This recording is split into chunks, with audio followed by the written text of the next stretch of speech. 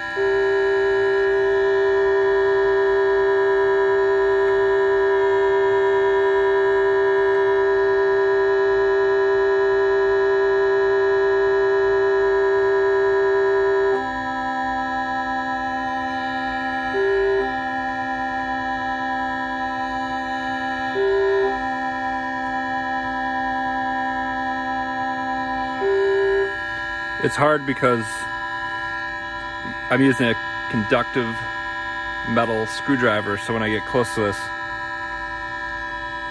it actually has an effect.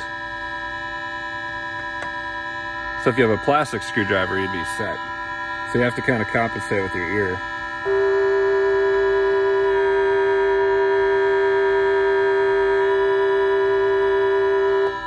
I mean, that's it right there, right?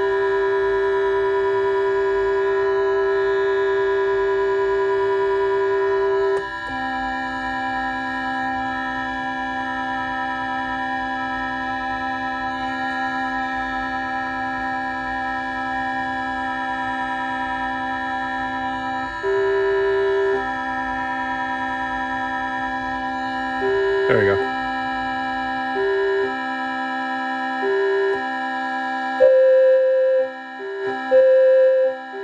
Let's try another note.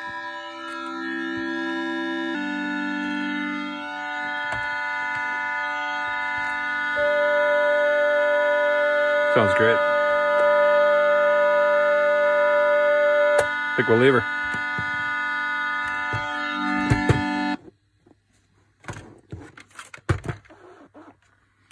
Going to zoom in so you can see the circuit board.